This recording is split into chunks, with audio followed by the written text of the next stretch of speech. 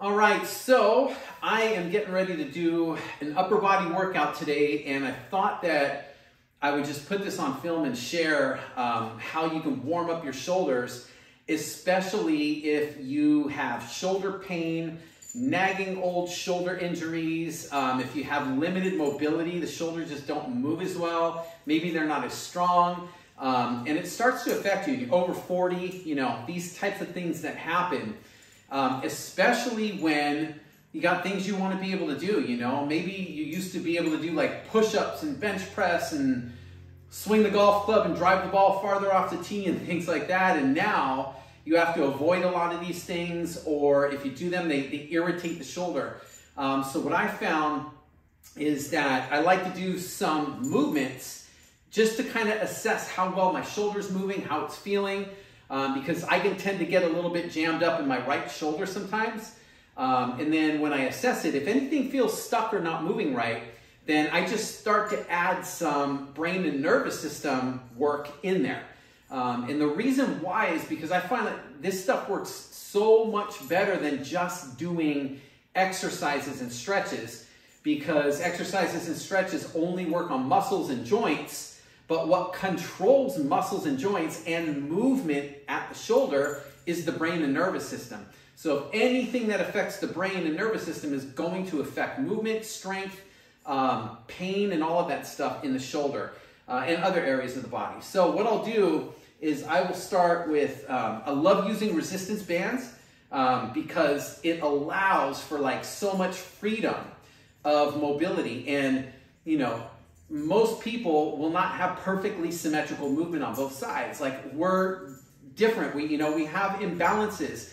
No two sides are exactly equal. So the band accommodates differences in movement patterns and things like that. So um, I like to do some up and overs to start. So I'm just kind of going up and over here. And again, I'm trying to feel, how does this feel? Does it feel jammed up? Is it uncomfortable anywhere? Does it feel stuck?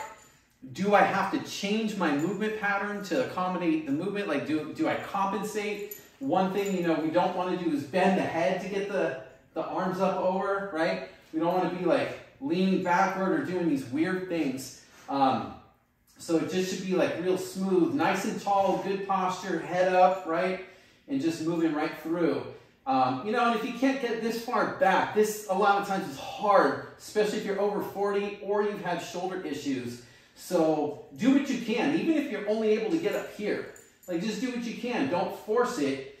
And this is one of those movements where over time, the more that we that we do this, and the better um, the, the better the movement will start to get.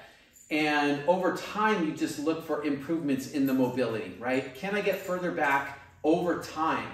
Um, and one of the things that you'll tend to notice, especially when it comes to pain and injuries, is that um, you know, pain doesn't get better first and then we're able to move and do things. It's the other way around. So as movement improves, as our movements become, um, they, they become more full range, they feel better, they become more smooth and balanced and coordinated, whatever it is, when that starts to improve, pain starts to decrease. So movement improves and then pain decreases, not the other way around. So again, that's the importance of trying to work in mobility as much as we can with the main linchpin of mobility not being exercises and stretches, but the brain and nervous system, all right?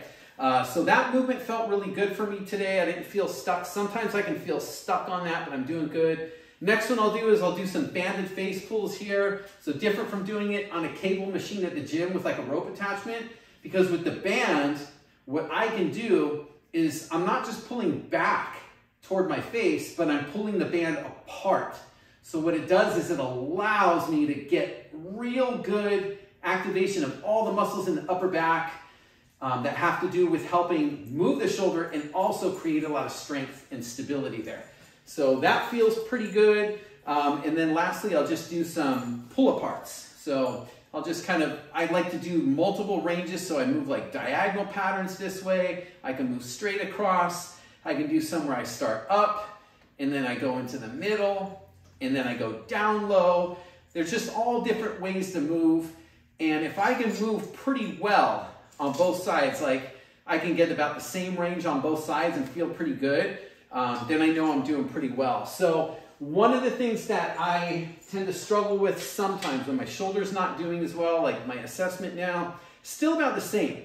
So I did these movements, my shoulders are warmed up a bit, I'm moving good, but I'm still feeling stuck on my right shoulder. My left, look how close it gets to my ear. My right, I'm really pushing it and it feels kind of stuck. So it's definitely not, you could tell, the same. There's more space in there.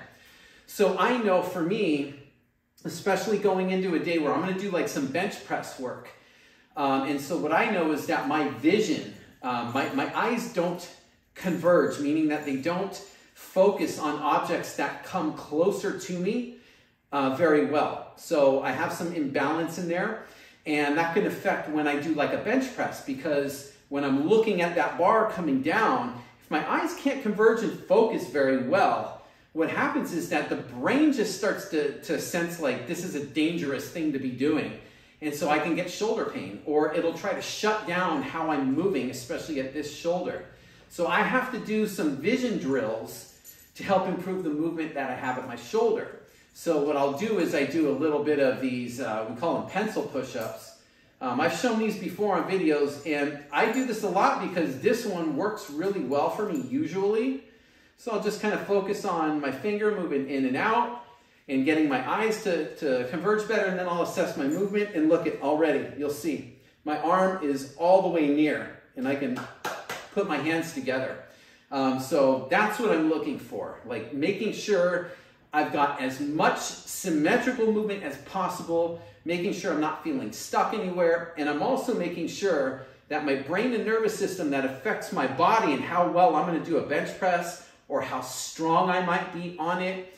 Um, I'm making sure that I'm doing what I can to optimize that whole thing, that whole um, kind of connection in there. So that's pretty much it. I'll do a few rounds of those typically. Um, sometimes I'll just mix in maybe some um, activation work. So once those things are going good, then I'll start to activate things and um, and then ramp up the, the exercise, the main exercise that I'm doing for the day. But just wanted to kind of show that. And, uh, you know, if you're dealing with any of those nagging aches, pains, old injuries that keep coming back, never really get any better. Sometimes it gets better, but then it comes back, the pain comes back. Maybe you've seen doctors or you've got cortisone shots. You've tried foam rolling, stretching, icing, heating, doing all these different things, pain relievers, medications, maybe even surgery, um, and you're still kind of stuck in the same boat and you might be feeling like maybe you're just older now and you need to stop, you know, playing golf with the guys on the weekends, stop lifting weights, stop, you know, doing the things that you love to do there is another way. You know, we can get better as we age. We're not doomed to getting worse and having to give up the things we love.